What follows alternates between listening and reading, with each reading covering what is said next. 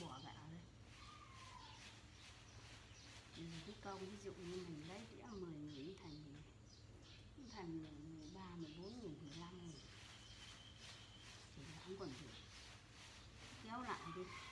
Nhưng mình trả hết thì trả được cái ăn cái gì cái nhà mình mình không mình trả mình cứ trả mình mình hắn sát liên tục. Thì kiếm người như thế người không chi cho được đó mà cũng tháng mình sát thì mình thì để lại rồi đó là cái mình cái mình cũng kiếm được gạo ăn như con đua nhưng mà nó cứ thật thà thì trả được cái gì hết phát cho các bà. Anh em mình nhà để cái xã hết thì mẹ chỉ có để nhưng mà mình